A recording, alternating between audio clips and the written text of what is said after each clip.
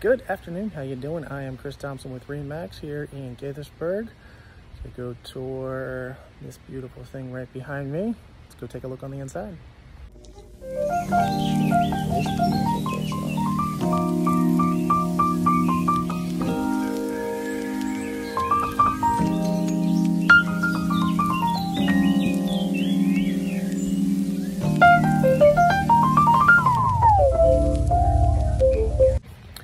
Well, that house was gorgeous inside and out, but we are gonna go look at another one and maybe we'll make a decision there.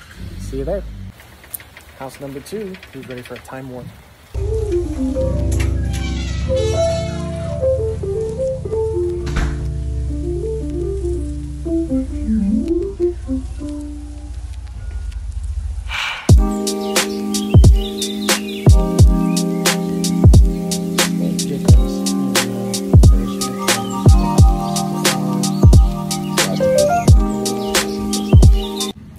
Just wrapped up at the Time Warp House and they're gonna go home, deliberate, and they like both houses, but they both have pros, they both have cons. This one clearly needs a lot of work, but they're gonna go home, talk about it, and we'll touch base in the morning. Take care, have a great day, talk to you soon.